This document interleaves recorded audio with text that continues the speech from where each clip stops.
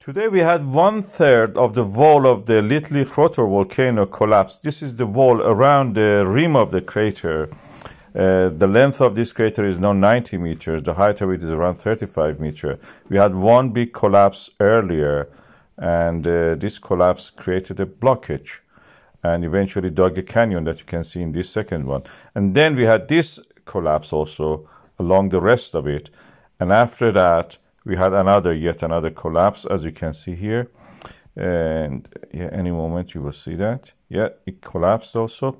So it's uh, all the time shaping itself, re reshaping itself. To know the sizes that I'm talking about, 190 meters, 50 meters, some things like that, 35 meters, I'm going to actually show you this relative size of this uh, uh, volcano, which is the daddy of this volcano.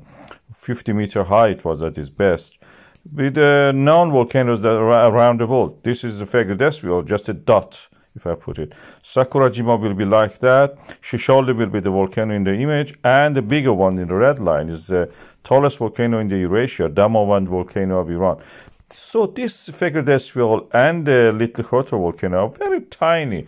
People always ask the size of this volcano. Yeah, this is the size. That's the size you will see.